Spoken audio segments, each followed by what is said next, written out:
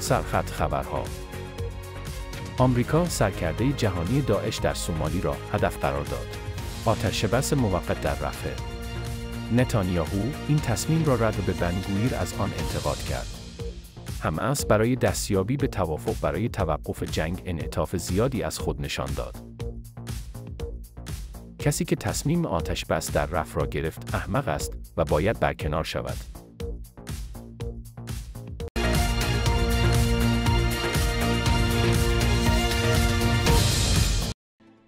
آمریکا سرکرده جهانی داعش در سومالی را هدف قرار داد.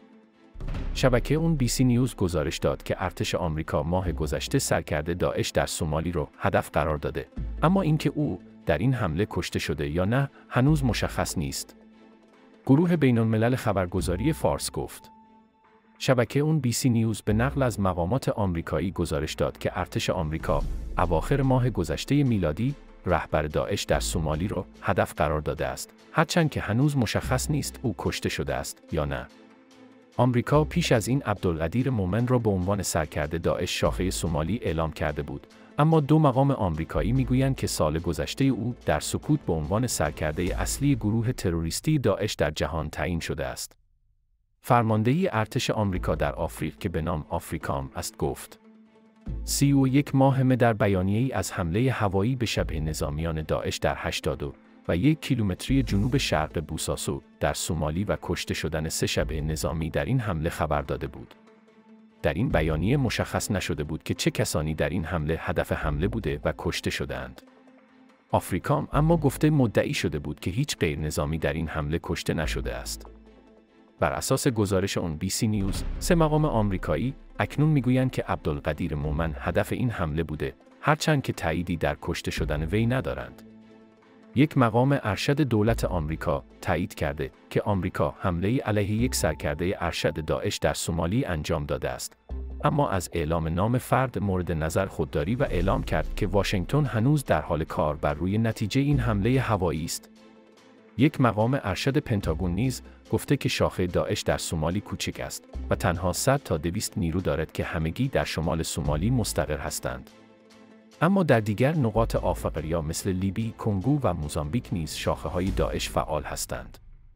خبر دوم آتش بس موقت در رفح نتانیاهو این تصمیم را رد به بنگویر از آن انتقاد کرد.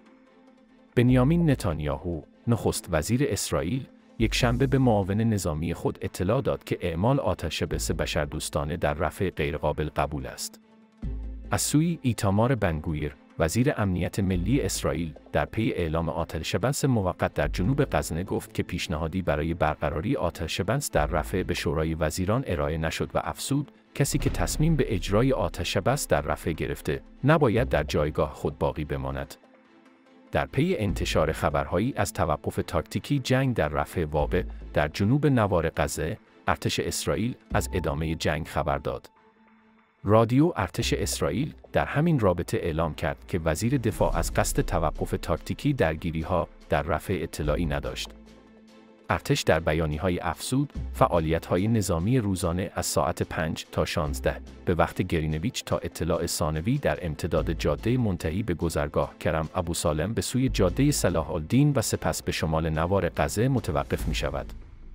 دهها سازمان بشردوستانه ما هاست که نسبت به کمبود شدید مواد غذایی و سایر مواد اولیه در نوار محاصره شده هشدار دادند.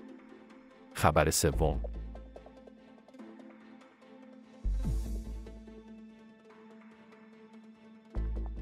مائیل هنیه رئیس دفتر سیاسی حماس گفت در اولین روز عید قربان در حالی که جنگ شدید اسرائیل در نوار غزه ادامه دارد گفت حماس برای دستیابی به توافق برای توقف جنگ انعطاف زیادی از خود نشان داد.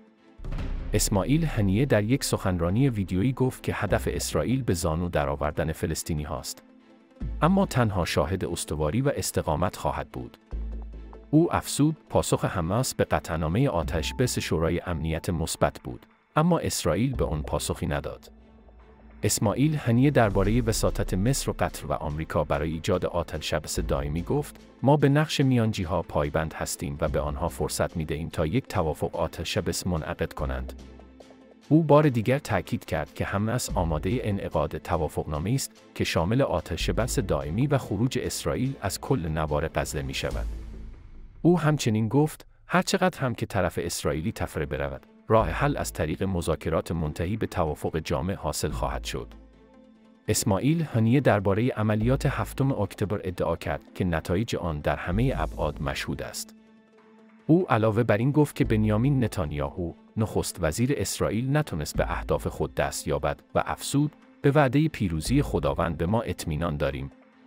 او همچنین ویژگی های فروپاشی دولت نتانیاهو را برای همه روشن دانست. رئیس دفتر سیاسی هم از تاکید کرد که عملیات رزمی در غزه ادامه دارد که آخرین آن در شهر رف در جنوب نوار غزه است. به گفته اسماعیل هنیه توانایی های رزمی حماس حتی در مناطقی که توسط اسرائیل ویران شده هنوز وجود دارد. او در مورد افزایش تنشها در مرز لبنان تصریح کرد که آرامش در جبهه لبنان و بقیه جبهه ها به آتش بس در غزه وابسته است. خبر چهارم کسی که تصمیم آتش بس در رف را گرفت احمق است و باید برکنار شود. اگرچه ارتش اسرائیل تاکید کرد که اعلام توقف عملیات خود در شهر رفح در جنوب نوار غزه به معنای توقف جنگ نیست، اما ایتامار بنگویر وزیر امنیت ملی اسرائیل بابت این تصمیم به شدت از دولت انتقاد کرد. او در توییتی که در حساب کاربری ایکس خود منتشر کرد گفت این تصمیم یا پیشنهاد مورد بحث و بررسی قرار نگرفته و به هیئت وزیران ارائه نشده است. این وزیر تندرو تصمیم آتشبس موقت را دیوانهوار توصیف کرد و گفت این اقدام تنها کشته های بیشتری را برای صفوف ارتش اسرائیل به همراه دارد. این انتقادات پس از اون مطرح شد که سخنگوی ارتش اسرائیل با تاکید بر ادامه عملیات در رفح تاکید کرد و گفت توقف عملیات تاکتیکی به هیچ وجه به معنای توقف جنگ در جنوب غزه نیست. او در پستی در حساب کاربری خود در ایکس گفت نه توقف جنگ در رفح وجود داره و نه تغییری در ورود کالاها به غزه.